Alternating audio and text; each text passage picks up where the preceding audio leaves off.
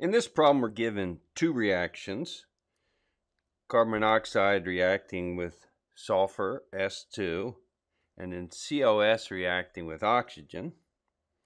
And the question is, if we have this information where we know the heats of reaction for these two reactions, can we determine the heat of reaction for oxidation of S2 to make SO2?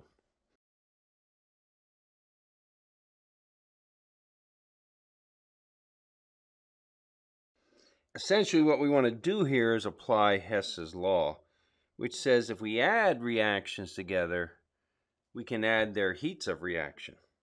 In this case, we want to use these two reactions and add them together to get the reaction of interest.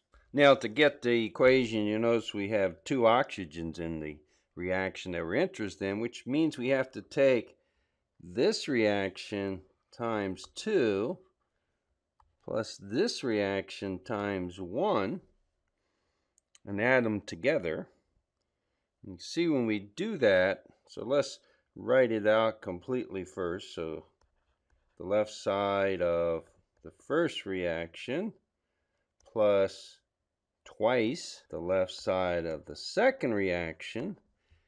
And then on the right side, the first reaction term, and then twice the products of the second reaction. And we notice that this is on the same the same on both sides and two carbon oxides is the same. So we end up with the reaction that we're interested in.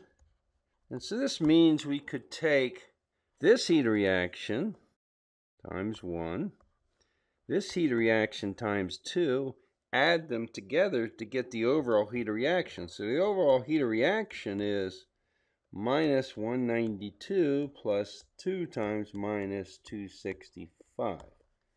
This is kilojoules. So the overall heat of reaction for this reaction then is minus 722 kilojoules.